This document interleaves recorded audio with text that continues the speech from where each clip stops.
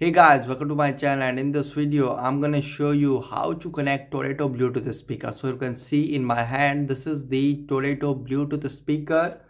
This is the 18 watt speaker in my hand you can see. Okay to connect it first here you can see this is the power on off button available you can see now press and hold it for two seconds.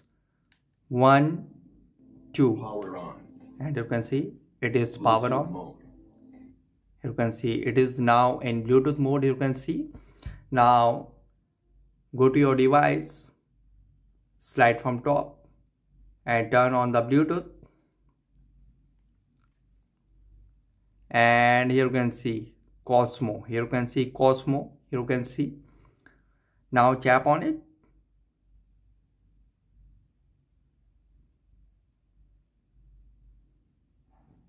It is pairing and you can see pair with Cosmo tap on OK.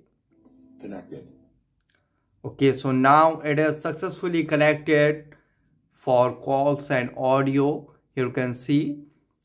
So guys this is the method to connect Toreto Bluetooth speaker to any device easily. Guys thanks for watching. Please like share subscribe and click on bell icon for the latest updates